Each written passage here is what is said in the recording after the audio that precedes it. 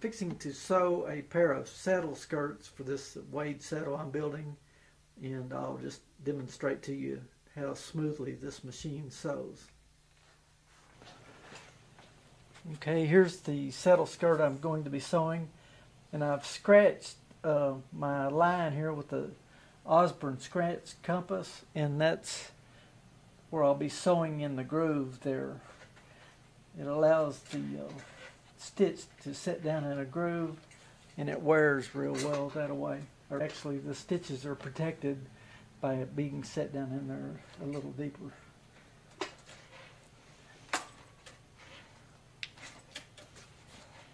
It has a uh, lever right here that you can lock and keep the foot raised up. And uh, another thing that's good is to always check your bobbin. I just checked the bobbin and made sure that I had plenty of bobbins. The lighting is good here, and then I do have a light here. Uh, I don't use it all the time, but when I'm having trouble seeing, I do use the, the light there. Um, I like to really concentrate when I'm stitching, especially my saddle skirts, because I want the stitching to be very straight.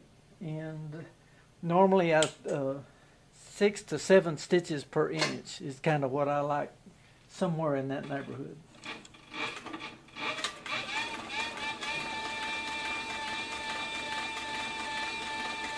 As you can see the machine just takes off and uh, runs very smooth.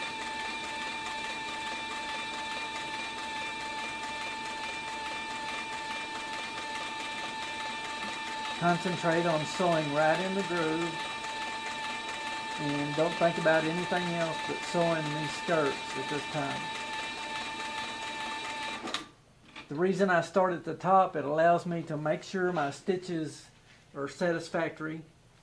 In fact, that looks just a little bit um, long, so I'm going to drop my lever down over here on the right and uh, lengthen those stitches just a little bit. Yep, that looks much better. Uh, too fine, and later on down the line, if the saddle's ever relined, it's hard to stitch back in the same holes. But as long as you're at six to seven uh, stitches per inch, it can easily be uh, um, resewn later on.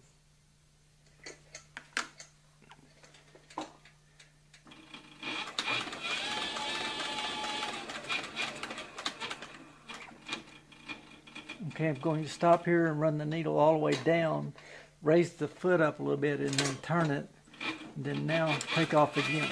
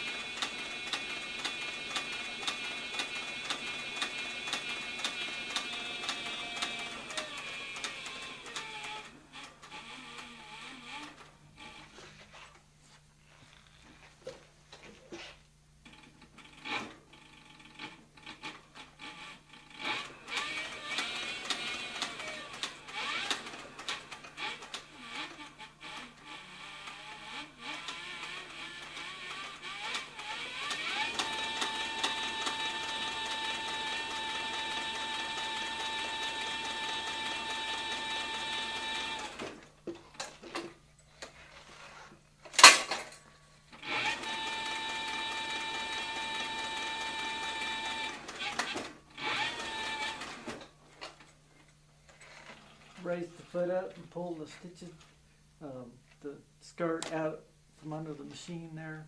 Then now I'll pull the stitches in between and trim it off flush.